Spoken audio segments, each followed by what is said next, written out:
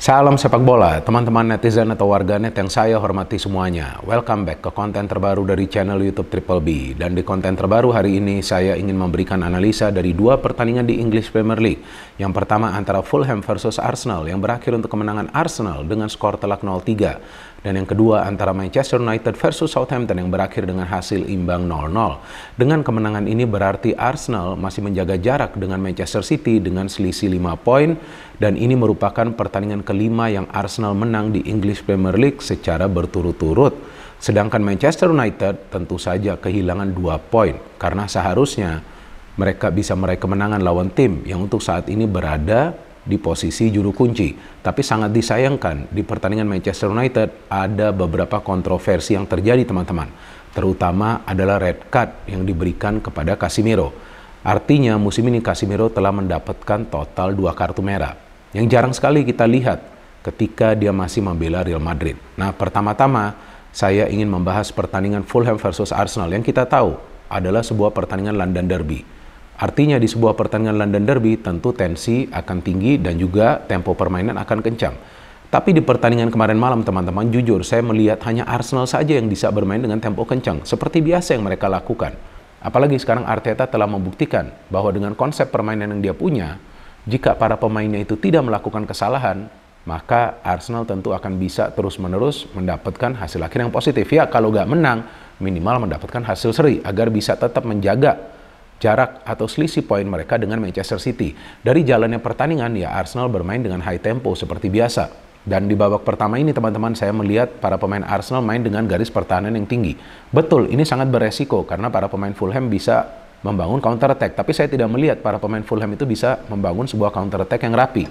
Karena bisa diblok terus oleh siapa? Thomas Partey. Saya melihat Partey ini permainannya bagus.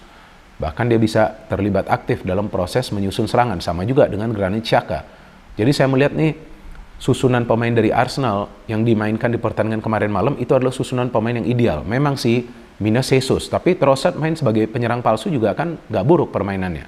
Bahkan dia bisa memberikan tiga assist, dia bisa mendapatkan dua peluang untuk mencetak gol. Dan juga pembelian pemain dari Arsenal di musim dingin ini kan sukses. Selain Trossard, mereka juga sekarang punya Jorginho. So anyway, seperti yang tadi saya ingin jelaskan, dari jalan yang pertandingan, Arsenal bermain dengan tempo tinggi, main dengan garis pertahanan yang tinggi, dan mereka bisa mencetak gol secara cepat sebetulnya, tapi ya memang sudah offside Martinelli ya, ketika pemain dari Fulham itu sebetulnya sudah mencetak gol bunuh diri.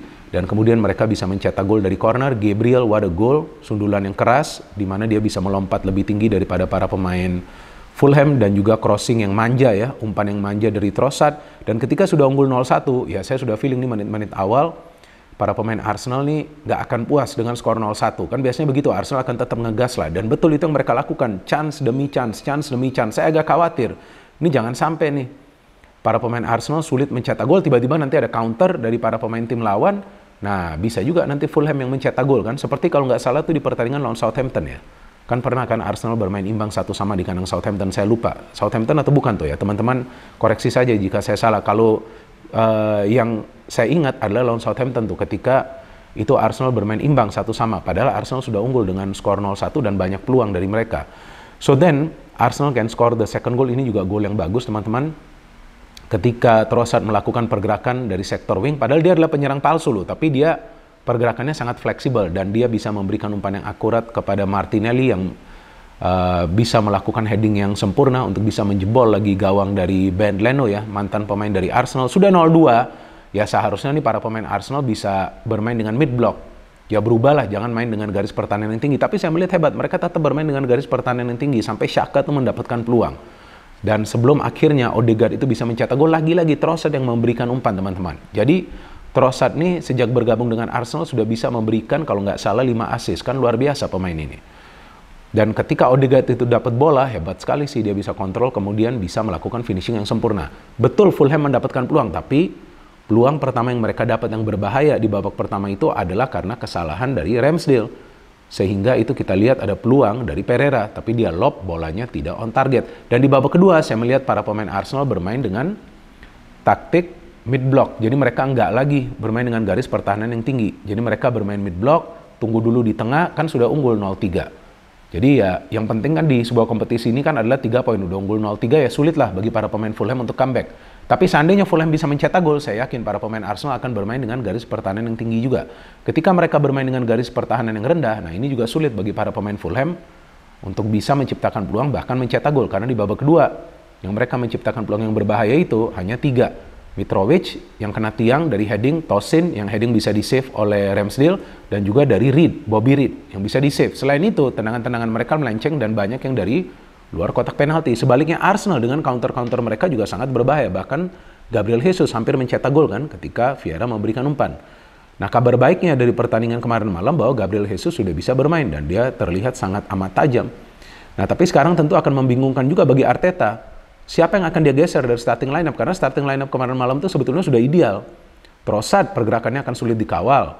Saka lebih bebas ketika ada Trossard yang pergerakannya mobile. Martinelli bisa mendapatkan space untuk mencetak gol ketika Trossard bermain ya kita tunggu saja tapi feeling saya bahwa Jesus akan bermain dari awal teman-teman di pertandingan selanjutnya karena he's a uh, big player for big matches. Apalagi nanti kan Arsenal akan main lawan Liverpool dan juga lawan City. So this is a good win. Dan memang dari awal saya sudah feeling Arsenal akan meraih kemenangan. Asalkan asalkan nggak dikerjain oleh wasit. Bener kan? Nah sekarang saya ingin membahas pertandingan kedua antara Manchester United versus Southampton yang penuh kontroversi.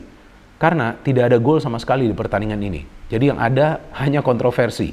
Dan ada tiga kontroversi teman-teman. Sebelum saya membahas jalannya pertandingan, saya ingin memberikan analisa saya. Pertama adalah kartu merah dari Casimiro. Nah kalau menurut saya, tackling dari Casimiro itu memang pertama-tama terkena bola, tapi setelah itu terkena kaki pemain dari Southampton Alcaraz. Jadi ya tetap itu adalah sebuah pelanggaran. Tapi apakah pelanggaran ini mencegah Alcaraz untuk mencetak gol? Apakah pelanggaran ini mencegah Alcaraz untuk memberikan umpan kunci? Enggak. Jadi tackling yang dilakukan Casimiro ini sebetulnya nih adalah tactical foul untuk menggagalkan Alcaraz mengandalkan skill individunya.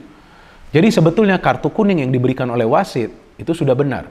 Tapi yang saya kaget ternyata ada call dari ruang VAR, dari wasit di ruang VAR meminta wasit uh, yang bertugas di lapangan untuk melihat lagi situasi ini dan ternyata setelah itu baru wasit memberikan kartu merah.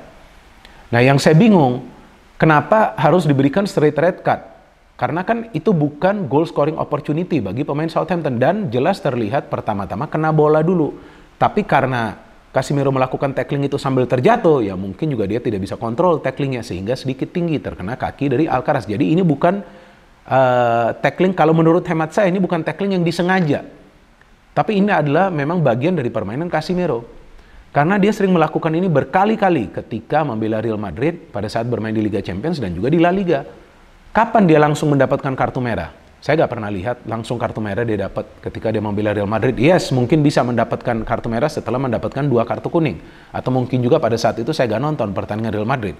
Tapi sekarang di Manchester United dia telah mendapatkan total dua kartu merah. Sama juga kontroversinya ketika lawan Palace kan Nah, saya sudah jelaskan ketika itu di uh, konten match review dari pertandingan tersebut. Kalau mau kasih kas, uh, Casimiro kartu merah, kasih juga tuh pemain Palace Schlup kartu merah karena kan dia juga yang memulai kericuan itu. Tapi ternyata enggak yang dikasih merah hanya Casimiro. Jadi menurut saya wasit-wasit di Premier League ini tidak konsisten. Ya tanyakanlah kepada para fans Arsenal seperti saya juga.